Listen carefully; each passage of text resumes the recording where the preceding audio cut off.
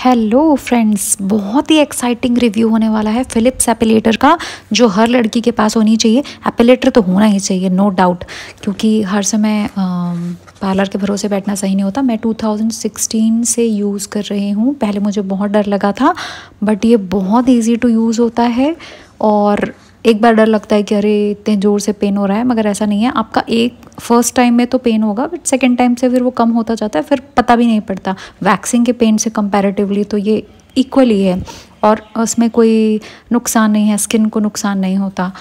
तो ये देखिए, साथ में मैं इसे ओपन करती जा रही हूँ। मुझे मिला था एक केबल मेरा तो पार्लर जाना कम हो गया वैक्सिंग के लिए लिटरली इसे यूज़ करने के बाद। ये बहुत लंबा केबल मिला था।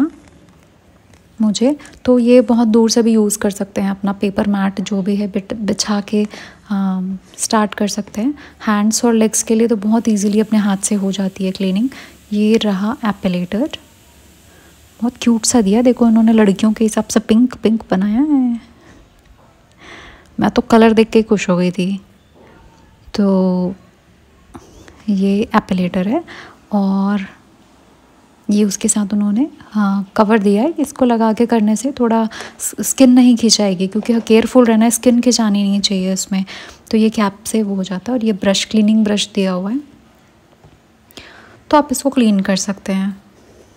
लाइफ तो मैं बता रही हूँ अब ये आप लोग के सामने है कि मैं इतने सालों से यूज़ कर रही हूँ तो लाइफ के बारे में तो मुझे बोलने की कोई ज़रूरत नहीं। बहुत लॉन्ग अच्छी लाइफ है इसकी। इसमें दो ऑन ऑफ़ के एक बटन दिए हुए हैं और ये नीचे से ऐसे लगाएँगे चार्जिंग पोर्ट पे आ, केबल लगाएँगे। चार्जिंग की ज़रूरत नहीं है सॉरी डायरेक्ट इलेक्ट्रिक इलेक्ट्रिक है ये।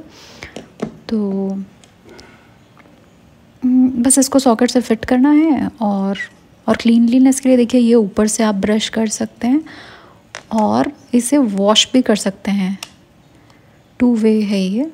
ये देखिए, ये ओपन करेंगे और इसको पानी में डाल के वॉश कर दीजिए। मैं इसको ऊपर ऊपर वाले हेड को पानी में डाल के वॉश करेंगे ना, नीचे वाले को नहीं, नीचे वाले में ब्लास्ट हो जाएगा।